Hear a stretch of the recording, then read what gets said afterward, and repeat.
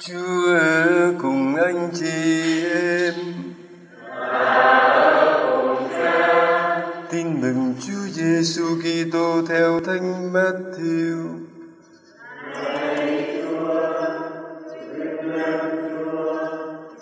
Khi Chúa Giêsu sinh hạ tại Bethlehem thuộc xứ Juda, trong đời vua Herode, có mấy nhà đạo sĩ từ đông phương tìm đến Jerusalem. Các công nói, vua người Do Thái mới sinh ra hiện đang ở đâu? Chúng tôi đã nhận thấy ngôi sao của người ở đông phương và chúng tôi đến để triều bái người. Nghe nói thế, vua Herode bối rối và tất cả Jerusalem cùng với nhà vua. Vua đã triệu tập tất cả các đại giáo trưởng và luật sĩ trong dân và hỏi họ cho biết nơi mà Đức Kitô sinh hạ. Họ tâu nhà vua rằng tại Bethlehem thuộc xứ Juda, vì đó là lời do đấng tiên tri đã chép, cả ngươi nữa hỡi Bethlehem đất Juda, không lẽ gì ngươi bé nhỏ hơn hết trong các thành trì của Juda, vì từ nơi ngươi sẽ xuất hiện một thủ lãnh, người đó sẽ chăn nuôi Israel dân tộc của ta. Bây giờ Herode ngầm triệu tập mấy nhà đạo sĩ tới, cần kẽ hỏi han họ về thời giờ ngôi sao đã hiện ra.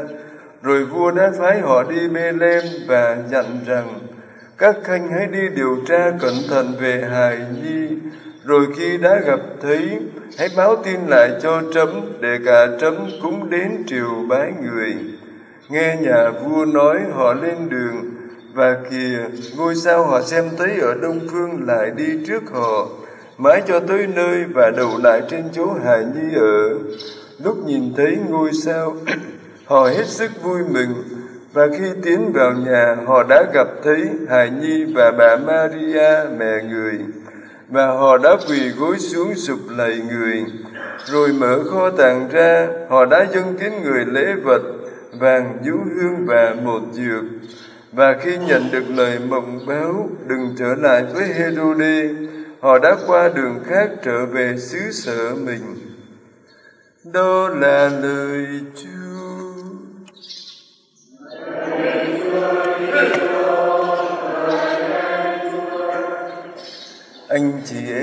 Thân mến, ơn cứu độ là một câu chuyện tình, là lời ngỏ của Thiên Chúa và sự đáp trả lại của con người.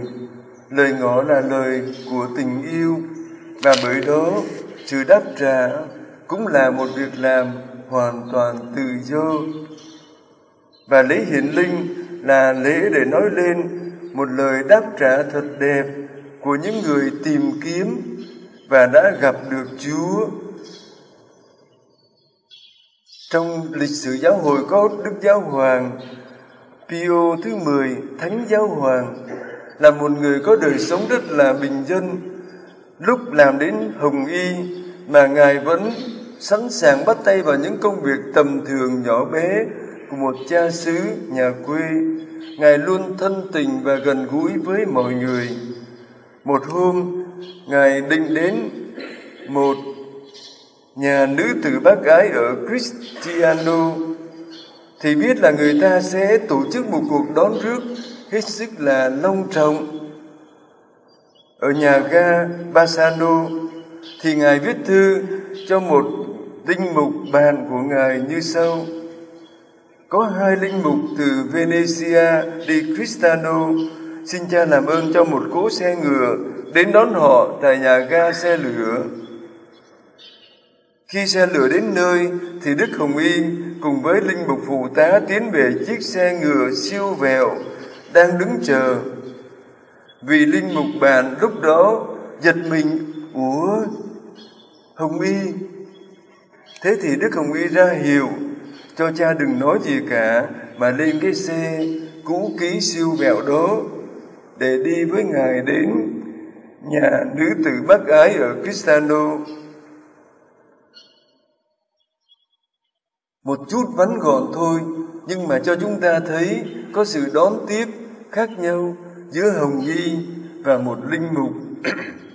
Nếu sự hiện diện của đức hồng y có thể thay đổi cách đón tiếp, thì sự nhận biết Thiên Chúa có thể thay đổi cả cuộc sống của con người. Và điều quan trọng đó là ta có nhận biết hay không?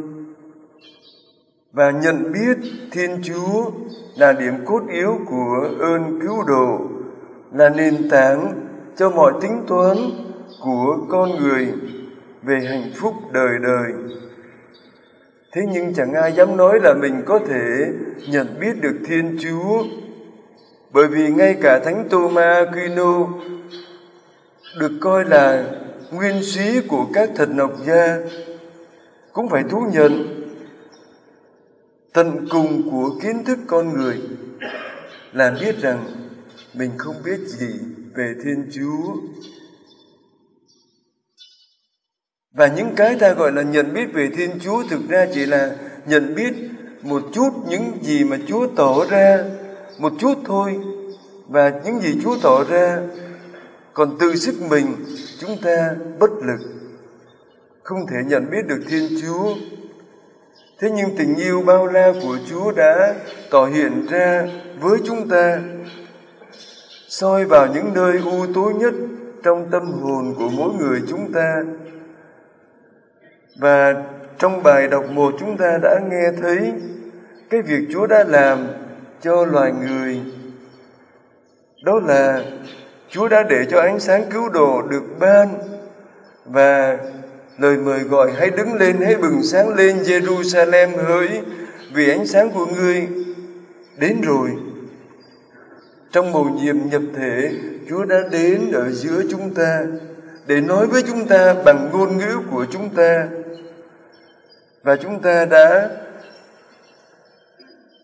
thấy tiên tri Isaia đã nói, khi bóng tối bao trùm mặt đất, mây mù phủ lấp chư dân, còn trên mình ngươi, Đức Chúa như bình minh, chiếu tỏa vinh quang người xuất hiện trên ngươi, chư dân sẽ nhìn về ánh sáng của ngươi.